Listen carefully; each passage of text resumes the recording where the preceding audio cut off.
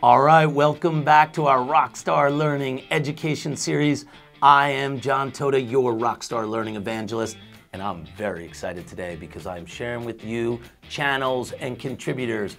This is hands down one of the coolest feature sets ever to be seen in a learning management system, and I get to show it to you today. So buckle up your seatbelt and get ready. We're getting into channels. Okay, everybody. So channels, you can turn this on or off in settings. I have it turned on and so it appears here on my user dashboard. When I go to channels, here's the idea behind it. Everybody wants to curate content. They want to access content contributions from every level of their organization. There's subject matter experts, some great minds, thought leaders out in your field. And if you're a large organization with thousands of employees all over the world, they may not be sitting in your home office and they definitely don't have access to the tools, the authoring tools, and the admin capabilities to create content and add it to the learning path. So how do we easily get content from the best minds in your company where they could just offer a contribution to a learning path or to a stream of knowledge? Well, that's where channels come in with contributors. So what we've got here is a channel I created called Share Your Knowledge.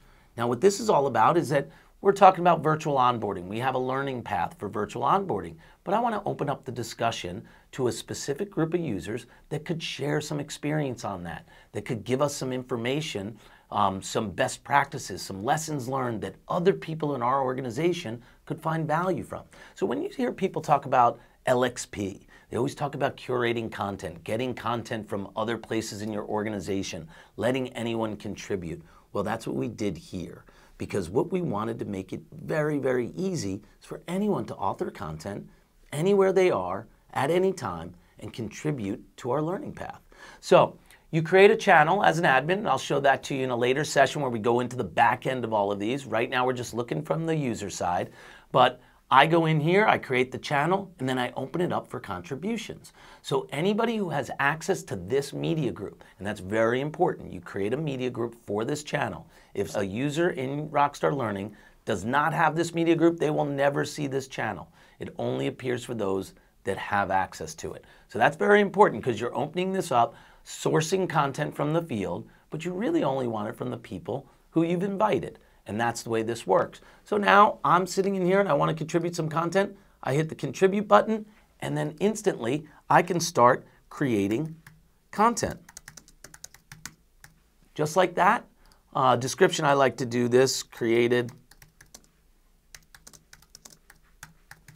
You can do whatever you want there now. Now you get into the fun part. I can add a text box. I can style that text box, make that a heading. I can make it bold, underline. You have all the options. You can add bullets here, right there. You can put add numbers. You've got all the capabilities that you would want.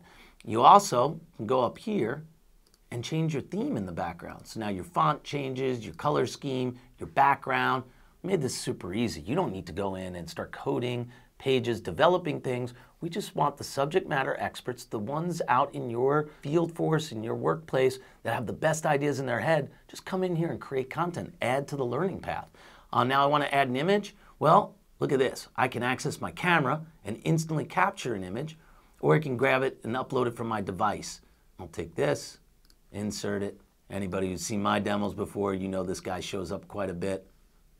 Now I can just shrink him down, Oh, I've got text box, I got an image, and then I want to add a video. In my case, I'm just going to upload a welcome video like that, insert it, and employees should feel that they now you've got video, you've got an image, you've got text box. You can move these around. I say I want this up to the top.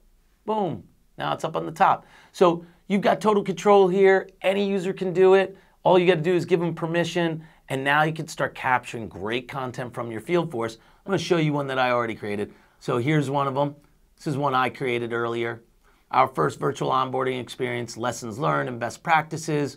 All right, I've inserted a couple images, some of the pillars. This guy showed up again. You know, he shows up all the time. But now here we go.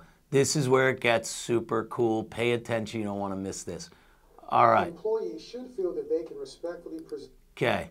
Now you hit this little button over here and you can turn on captions, not just in English, but in any language. Now we're supporting a few languages there. We're adding new ones all the time because we know everybody wants this and we took it one step further.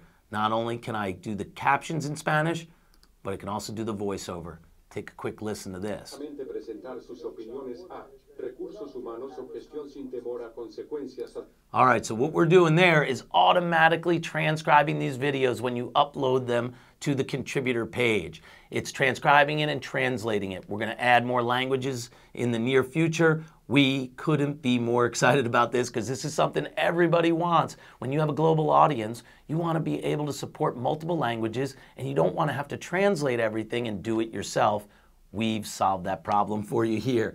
It's one of the coolest innovations in the platform. Definitely take advantage of it. So when you upload a video and you publish it up here at the top, when you publish it, it automatically creates that translation. You don't have to do anything, but you've got it available to you both in closed captioning and in the voiceover. So super cool functionality. Without further ado, I am going to close out. Thank you for being here for yet another session in our Rockstar Learning Education Series. My name is John Toda, your Rockstar Learning Evangelist. Thank you for being here, and we'll see you in the next one.